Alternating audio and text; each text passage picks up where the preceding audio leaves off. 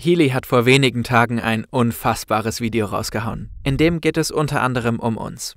Besonders subjektive Fernsehformate wie Simplicissimus, Fern und Funk. Aber falls ihr es nicht mitbekommen habt, erst ein kurzer Recap. Wir haben über Healy berichtet, eine üble Esoterik-Masche aus Deutschland. Das Unternehmen verkauft über ein pyramidenförmiges, aber nicht verbotenes Multilevel-Marketing-System solche Geräte, die mit Hilfe von Quantentechnologie bei allen möglichen Beschwerden helfen sollen. Dafür soll in dem Gerät ein Quantensensor verbaut sein, ist er aber nicht. Heli-Vertriebler haben uns die absurdesten Versprechen gemacht. Zum Beispiel, dass der Heli unserer krebskranken Tante über 3000 Kilometer Distanz helfen könne.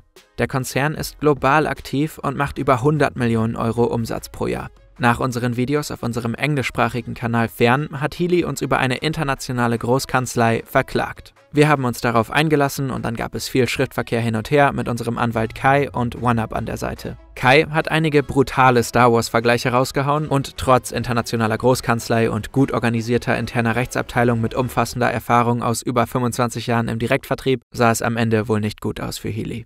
Der Vorsitzende Richter des zuständigen Landgerichts hat mit Healys Anwälten telefoniert und meinte sinnbildlich vereinfacht gesagt, ihr könntet jetzt schon vor Gericht ziehen gegen die Jungs, aber eure Chancen stehen echt nicht gut. Diesen Rechtsstreit haben wir jetzt vor kurzem öffentlich gemacht. An der Stelle danke für euren unfassbaren Support. Wenige Tage vorher ist auf dem Healy World Kanal dieses Video online gegangen. Die Wahrheit über Healy World. Fakten gegen bloße Behauptungen. Zuletzt sah sich Healy World unbegründeter Kritik gegenüber. Die Verursacher sind wie so oft subjektive und sensationsorientierte YouTube-Formate wie Simplicissimus, Fern und Steuerung F. Interessanterweise geraten nun diese irreführenden Formate selbst in die Kritik. In den sozialen Medien werden ihre Glaubwürdigkeit und ihr Hang zur Sensationslust immer mehr hinterfragt. Weiter spricht der Konzern von irreführender Berichterstattung und einem Mangel an Beweisen. Das lassen wir uns natürlich nicht gefallen. Zum einen ist es fast schon amüsant, was diese Esoteriker hier versuchen. Zum anderen entlarvt es die Strategien des Konzerns deutlicher denn je. Zeit für die nächste Runde. Beat the pussy up, then I beat the eyes too. Got a lot to prove, L Woods with the law school. I am not a wave, I'm a monsoon. Send her on a way after she blow me like some hot soup.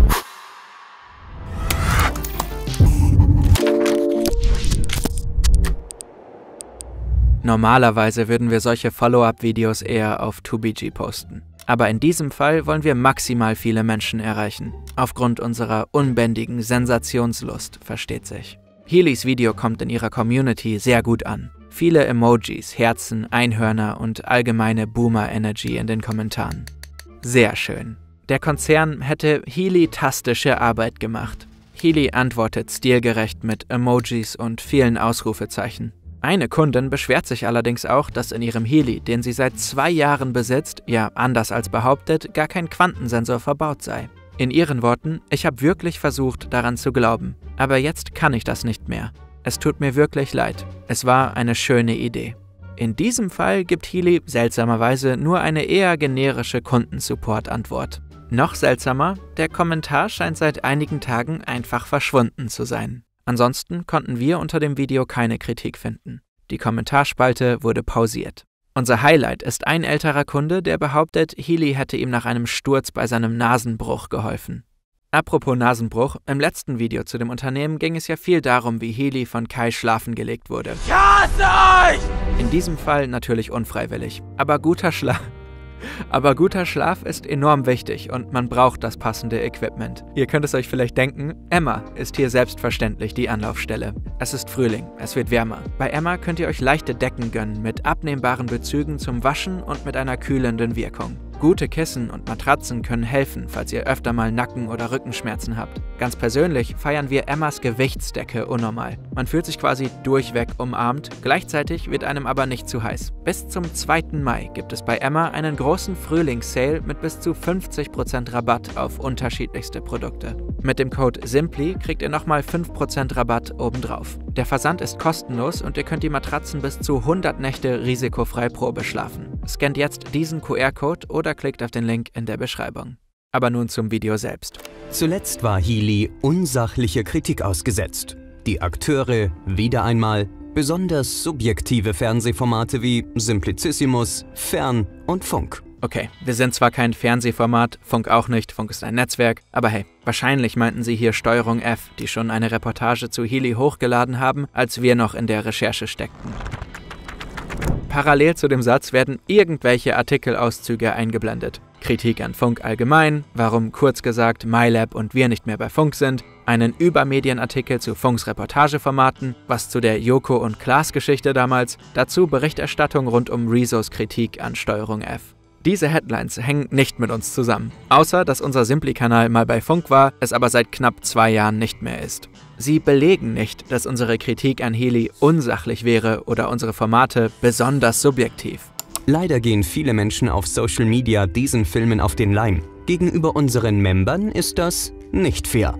Aber die Diskussion verselbstständigt sich. Interessant, dass diese Formate jetzt ihrerseits am Pranger stehen. Hier zeigen sie ein Thumbnail einer Kritik an uns von Imp von vor fast vier Jahren. Da ging es um gänzlich andere Dinge, zu denen wir damals ausführlich Stellung bezogen haben. Wir stehen also in der Gegenwart nicht am Pranger, weil sich derzeit irgendeine Diskussion angeblich verselbstständigt. Andere Kritik an uns konnte Healy auf die Schnelle wohl leider nicht finden. Dabei hätte sich die Bild mit Agit Prop doch eigentlich angeboten. Wir werden visuell mit der jüngsten Kritik an Steuerung F in einen Topf geworfen, obwohl unsere Formate nichts miteinander zu tun haben. Steuerung F steht zu Recht in der Kritik rund um ihren Umgang mit Rezo.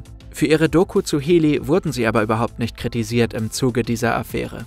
Und an der Reportage ist auch nichts auszusetzen. Sie featuret unter anderem die Jungs von Science Cops, die einen phänomenalen Podcast zu Healy produziert haben. Die Reporter versuchen sogar, Healy und Schmieke vor Ort zu konfrontieren. Wir durften tatsächlich kurz mal unter funkelnden Kronleuchtern auf Markus Schmieke warten. Es hieß dann, er kommt noch. Dann hat man ihn aber scheinbar kurz mal angerufen und jetzt sind wir wieder draußen. Wir haben Steuerung F bei der Gelegenheit mal gefragt, ob sie eigentlich auch Post von Healy bekommen haben. Und oh oh, haben sie halt tatsächlich. Es gab einen Antrag auf einstweilige Verfügung nach ihrer Berichterstattung, doch das Landgericht in Berlin hat dann Bedenken gegen den Erlass geäußert. Ganz ähnlich wie bei uns anscheinend. Und dann hat die Gegenseite, also Healy, den Verfügungsantrag zurückgenommen und die auferlegten Verfahrenskosten gezahlt. Das macht dann schon zwei bekannte Fälle. Ob es noch mehr gibt? Im Prinzip ist das, was Healy hier macht, klassischer Whataboutism. Man verweist auf unzusammenhängende Kritik an Steuerung F, welche ihre Reportage über Heli aber nicht entkräftet. Selbst wenn man Steuerung Fs Arbeit kritisch sieht, muss man schon klar belegen, welche Aussagen in ihrem Video denn konkret falsch sein sollen. So ein allgemeiner Schleier des Misstrauens reicht da einfach nicht. Besonders subjektiv formuliert für uns ein ziemlicher Akt der Verzweiflung, nachdem man mit rechtlichen Mitteln de facto nichts erreicht hat. Im Anschluss betont Healy, dass sie als Medizingerät zertifiziert seien und Audits nach der Richtlinie 9342 EWG unterliegen und der ISO-Norm 13485. Außerdem hat der Healy eine CE-Kennzeichnung. Wir haben keinmal gefragt, was das eigentlich jeweils genau bedeutet, und er sagt, CE-Kennzeichnungen und Zertifizierungen nach der ISO 13485 und auch die Konformitätserklärung nach der Richtlinie 9342 EWG sind keine behördlichen Zertifizierungen, bei denen der Staat quasi die Wirksamkeit eines Gerätes prüft und es für gut befindet. Vielmehr geht es dabei um Produktsicherheitsaspekte, Qualitätsmanagement und technische Vorgaben. Die Konformitätserklärung erfolgt durch das Unternehmen selbst bzw. unter Mitwirkung einer sogenannten benannten Stelle. Vielleicht auch interessant ist, dass die Richtlinie 9342 EWG kurz nach der Erstellung des Zertifikats für Healy durch die inzwischen viel strengere Medizingeräteverordnung ersetzt wurde. Wir haben in unserer Berichterstattung nie angezweifelt, dass Healy als Medizinprodukt zugelassen ist. Wir haben vielmehr festgestellt, dass in dieser Zulassung nicht staatlich oder durch die EU geprüft wird, ob das Gerät tatsächlich wirksam ist. Nichts davon hat Healy widerlegt. Anders gesagt, diese Zertifizierungen jetzt erneut breit zu treten, entkräftet unsere Kritik nicht. Das wirkt in diesem Kontext wie ein Strohmann. Dann geht es um den Kompensationsplan. Unsere Kritik war, dass er übermäßig kompliziert ist und mit großen Summen lockt, die für den drastischen Großteil der Verkäufer wohl nicht erreichbar sind. Laut Healy wurde er von Branchenexperten erstellt und von Anwälten auditiert und sorgfältig für jedes Land, in dem wir tätig sind, geprüft und behördlich freigegeben. Das würde für finanzielle Sicherheit und rechtliche Klarheit sorgen. Aber hm, in jedem Land eine behördliche Freigabe? Wir haben Healy gefragt, welche behördliche Freigabe für ihren Vergütungsplan denn in Deutschland und der EU erfolgt sei. Leider hat uns der Konzern das bisher nicht beantwortet. In der Regel ist die Teilnahme an einem MLM-System keine finanziell sichere Angelegenheit. Wieder nichts davon entkräftet unsere Kritik. Zu guter Letzt folgt der Konzern nach eigenen Aussagen den Auflagen der lokalen Direktvertriebsverbände. Auch hier haben wir mal genauer nachgehakt. Welcher Verband in Deutschland? Was sind das für Auflagen? Wie wurden die umgesetzt? Auch hier bisher leider keine Antwort. Okay, Jetzt wird es richtig geschickt. Die Wirksamkeit des Healy stützt sich seit jeher auf zahlreiche öffentlich verfügbare Studien. Klingt ja super, aber lest den Satz mal genauer. Oh, da fehlt dir ein Wort. Unabhängige. Und das ist natürlich das Entscheidende. Nach solchen unabhängigen Studien haben wir Healy gefragt. Sie haben uns keine einzige genannt. Also haben wir es nochmal probiert. Keine Antwort bisher. Aber es wird noch wilder. Zusätzlich haben wir dies durch eine externe PCMF-Studie gestützt. Das Wort extern wird hier benutzt, weil auch diese Studie nicht unabhängig ist. PCMF-Studien sollen die Marktkonformität untermauern. Das ist uns gelungen. Was rausgekommen ist, die Verbesserung der Lebensqualität durch Mikrostromtherapie. Das sind die Fakten, auf die wir bauen. Wir haben Healys Studien einfach mal Jonathan Jerry gezeigt. Das ist der echte Wissenschaftler, bei dem Healy anzweifelt, dass er Wissenschaftler ist. At one point, the opposing party uh questioned if you were in fact a real scientist. no, I just play one on TV. yes, I'm a real scientist. I have an undergraduate in biochemistry.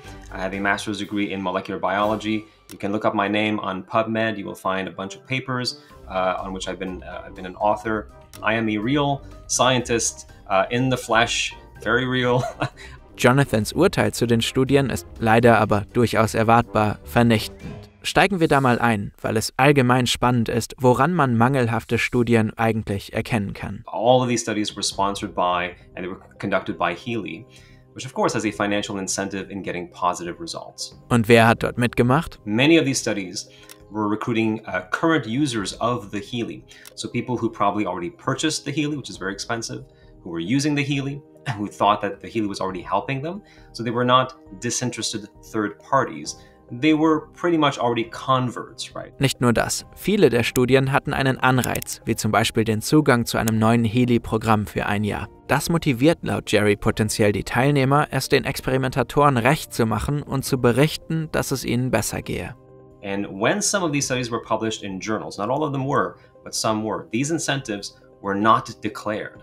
In fact, in one paper, I saw that the authors wrote, We are grateful to the participants that they helped in this research by participating without remuneration, which is technically true, but they were compensated in some way that could potentially affect the results. Viele der Studien hatten keine Kontrollgruppe. Das heißt, man hat die angeblichen positiven Erfahrungen der Leute, die den Healy genutzt haben, nicht mit Leuten verglichen, die ihn im gleichen Zeitraum nicht verwendet haben. Und wenn es eine Kontrollgruppe gab, handelte es sich um eine Wartelistenkontrollgruppe. Diesen Teilnehmern wurde während der Studie gesagt, den Healy nicht zu verwenden. Sie wussten also, dass sie in dieser Gruppe waren. Es gab keine Verblindung. And so it's no wonder that they reported doing worse because they probably thought that the Healy was, was helping them and now they are told to stay away from it. Und laut Jerry ein großes Problem, keine dieser Studien hat ein Placebo genutzt. Heißt, in keiner der Studien wurde einer Teilnehmergruppe zum Test Healys gegeben, die zwar funktionsmäßig aussahen, aber keine Frequenzen ausgestrahlt haben. Jerry sieht noch weitere Probleme. Die angewandten Fragenkataloge zum Beispiel. Die seien schwammig, weil sie teils völlig unterschiedliche Symptome innerhalb einer Gruppe messen. Teilnehmer konnten sich zum Teil einfach bis zu drei Probleme aussuchen, bei denen der Healy helfen sollte. Dazu wurde nicht sichergestellt, dass die Gruppen vergleichbar waren, wenn es denn Kontrollgruppen gab. Und es wurde häufig nicht sichergestellt, ob Teilnehmer den Heli auch wirklich genutzt haben. Nun kann man sich fragen, warum diese Studien so viele offensichtliche Schwächen aufweisen. Healy hätte im Angesicht der enormen Umsätze sicherlich das Geld, vernünftige Studien zu finanzieren. Wir haben nachgefragt. Warum keine Verblendung? Warum nicht Placebo kontrolliert? Warum mit Bestandskonten? Warum Incentivierung? So viele Fragen, bisher keine Antworten. Healy verweist in ihrem Video dann auf ihre Website und den Bereich Wissenschaft. Die Healy World Webseite und dort den Bereich Wissenschaft. Wenn man hier runterscrollt, schreiben sie, wie schon in unserem Originalvideo festgestellt, selber, dass die Wissenschaft ihre Theorien nicht anerkennt. Die Wissenschaft erkennt die Existenz des Informationsfeldes, die Analyse und Harmonisierung damit und seine sonstige Bedeutung nicht an, da keine wissenschaftliche Evidenz vorhanden ist. Die individualisierten Mikrostromfrequenzprogramme des Healy, die Quantenpotentialfrequenzen der Healy-Coil und die Magnetfeldprogramme von McHealy werden von der Schulmedizin nicht anerkannt, da wissenschaftliche Evidenz im Sinne der Schulmedizin fehlt. Weiter mit dem Video. Unsere Gesellschafterstruktur entspricht der geltenden Gesetzgebung und folgt den entsprechenden Normen. Für unsere Jahresabschlüsse und Audits unterliegen wir den Vorgaben des Handelsgesetzbuches und des Steuerrechts. Wir stellen so sicher, dass unser Geschäftsmodell nicht nur marktüblich, sondern regelkonform ist. Unserer Meinung nach noch ein Strohmann. Wir haben nie behauptet, die Gesellschafterstruktur wäre illegal. Auch den Jahresabschluss an sich haben wir nicht in Frage gestellt. Wir haben ihn genutzt, um zu verdeutlichen, dass Healy für ein Unternehmen, das angeblich ein technologisch innovatives Produkt verkauft, anteilig auffällig wenig Geld für Forschung und Entwicklung ausgibt und sehr, sehr viel für den Vertrieb. Der Steuerberater Christoph Jun hat uns bestätigt, dass das Ausgabenmuster in der Hinsicht unüblich ist. Wir haben außerdem die Frage in den Raum gestellt, warum Millionen an ein Unternehmen in Bratislava geflossen sind, das Hauptanteilseigner Christian Halper und Katharina Schmieke gehört. Diese Frage wollte Healy uns damals nicht beantworten. Und tun sie auch in ihrem Video nicht.